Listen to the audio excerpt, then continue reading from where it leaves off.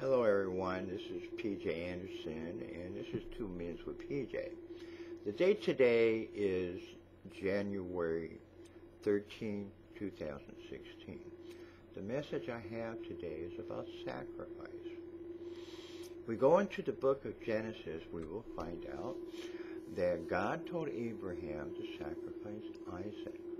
Of course, Abraham, to prove that he was obedient, did take Isaac, tied him up, put him on the wood, and was ready to slay Isaac and burn him and kill him. Well, Abraham was stopped. And by doing that, uh, he was obedient and he was rewarded because he would have many generations. Now, Isaac did represent a form of Jesus, and Abraham did represent a. Now, if we continue on, we'll find out that what happened in Exodus, when the Israelites were allowed to leave Egypt, just after the Passover, they were to go ahead and celebrate. They would go ahead and put a sacrifice there, and that was to be a blemish-free lamb. And the sacrifice would represent the freedom from Egypt. Now, of course, Passover did represent a form of Jesus also.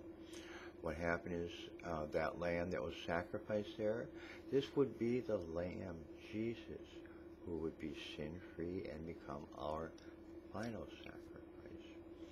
We know that in the book of Matthew, we find out that Jesus talked about if somebody has a problem with a friend, maybe in an argument, and they come to the temple to sacrifice. Jesus told them their heart needs to be right. And in order, to do that, they had to resolve that problem before they put the sacrifice in the temple.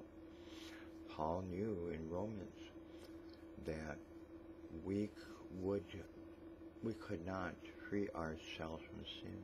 That God had a better plan and what God's plan was to send Jesus, his only son, to become a final sacrifice for our sins. And Jesus did become that man. He was sin-free, and he became the final blemish-free lamb sacrifice. So today, what are you willing to sacrifice? Do you have to sacrifice? If you sacrifice, are you sacrificing for from your heart? As I said, Jesus became that final sacrifice as an ultimate plan from God to free us from sin and eternal condemnation. This happened on that cross. And today, because of Jesus and what he did, we don't have to do anything. We have gotten that free gift from God. And that is Jesus being a sacrifice for our sins. So as you go through the rest of the day, think about this, what Jesus did for you, what God did for you. And I thank you for the two minutes with PJ.